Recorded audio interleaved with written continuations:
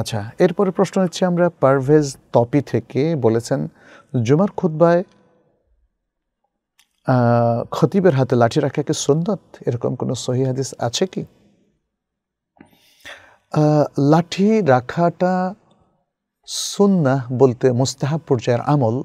এতে আমাদের ওলামাই কেরাম সায় দিয়েছেন। অর্থাৎ তাদের মতে রাসুল সাল্লাহ সাল্লাম যেহেতু হাসান হাদিসে এসছে, তিনি খোদবার সময় টেক দিতেন কোনো লাঠির উপরে অথবা খেজুর গাছের উপরে অথবা অন্য কিছুর উপরে। ফলে তার এই খোদবা দেওয়ার সময়, টেক দেওয়া, বিশেষ করে জমার খোদবা দেওয়ার সময় এই যে ভার রাখা, এটা দ্বারা প্রমাণিত হয় যে এরকম কোনো কিছু করা যেতে পারে, এরকম কোনো কিছু করা যেতে পারে। যেটি আবু দাউদ এবং হাকিম ইবনু হাজাম আল আবু দাউদ আল হাকিম ইবনু হাজান থেকে বর্ণনা করেছেন। বলেছেন যে আমরা রাসূলুল্লাহ সাল্লাহ সাল্লামের সাথে জুমায় উপস্থিত ছিলাম। তিনি একটি লাঠি অথবা একটা ধনুকের উপর ভর করে দাঁড়িয়েছিলেন। তারপরে তিনি আলহামদুলিল্লাহ বললেন, আল্লাহর প্রশংসা করলেন এবং আল্লাহর ফানা জ্ঞাপন করলেন। শোয়াইব আল্লাহর নাউত এবং আব্দুল কাদের আর নাউত তারা এ হাদিসের সনদ অধ্যয়ন করে বলেছেন এর সনদটা হাসান এবং হাফিজ ইবনু কাতির আত্তালখিস গ্রন্থে বলেছেন যে ইবনু খুজাইমা এই হাদিসটিকে সহি বলেছেন এবং এই হাদিসের পক্ষে আরও শাহেদ আছে।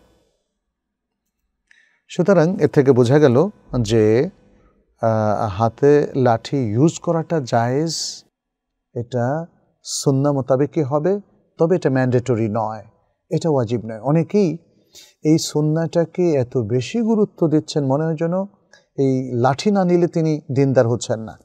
এটা করা যাবে না, এতটা এক্সট্রিম হওয়া যাবে না এবং খোদ বা শুদ্ধ হওয়ার জন্য বা খোদ বা সহি হওয়ার জন্য লাঠি হাতে নেওয়াটাকে শর্ত করা যাবে না এবং যদি কোনো খতিব লাঠি ছাড়া খুতবা দেন, তাকে খারাপ বলা যাবে না এবং তিনি ভালো কাজ ছেড়ে দিচ্ছেন, এরকম ব্লেমও করা যাবে না। বরং আমরা অনেক ওলামাইকেরামকে দেখলাম, যেমন শেখ বিন বাজ রাহমাহুল্লাহ, তিনি বলছেন, কোনো অসুবিধা নাই, লাঠি ব্যবহার করতে।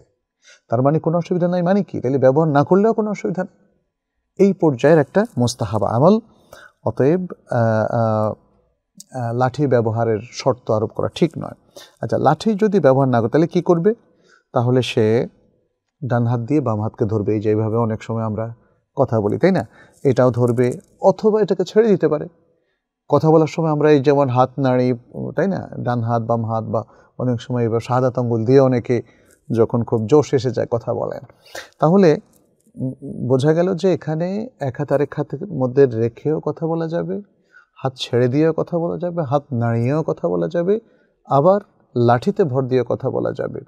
অনেকে খোদবার সময়, যেমন আমরাও মাঝে মাঝে আমরা নোটটা নেই, একটা নোট নেই, যাতে করে জুমার খোদবার সময় আমি মূল পয়েন্টের উপর ফোকাস করতে পারি এবং কনসেন্ট্রেট করতে পারি যাতে বেহুদা কথাবার্তা অন্যদিকে না চলে যায়।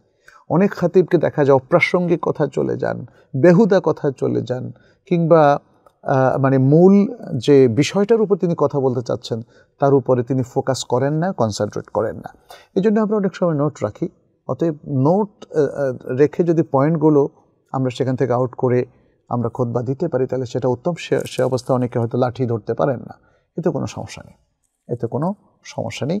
এখানে ইমাম সানায়ানি সবুল সালামের মধ্যে বললেন যে ফাইনলাম ইয়েজেদ মাই আতামেদ আলহি আর সালাইয়াদে যদি তার কাছে কোনো কিছু ট্যাগ দেওয়ার মতো না থাকে, তাহলে তিনি দুই হাত ছেড়ে দেবেন। আউ ওয়াদা আলিউমনা আলী ইসরা অথবা তিনি ডান হাত বাম হাতের উপর রাখবেন, যেভাবে অথবা মানে এটা এইভাবে মানে কীভাবে রাখাটাও জরুরি না। আপনি যে কোনোভাবে রাখতে পারেন, হুম? অথবা আলা জানিবিল মেম্বার, মেম্বারের একটা জায়গা। অনেক সময় আমরা দেখি যে মেম্বারের আশপাশটা একটু দাঁড় করিয়ে দেওয়া হয়। তখন আমি হয়তো এই জায়গার উপর একটু ভর করলাম বা ওই জায়গার উপর ভর করলাম। রসুল সাল্লাম তো প্রথমে লাঠি ছিল না, তিনি খেজুর গাছের উপর ভর করেছেন। তাহলে মানে ভর যে কোনো জিনিসের উপর করতেও কোনো আপত্তি নেই, না ভর করলেও কোনো আপত্তি নেই। হাত ছেড়ে দিল কোনো আপত্তি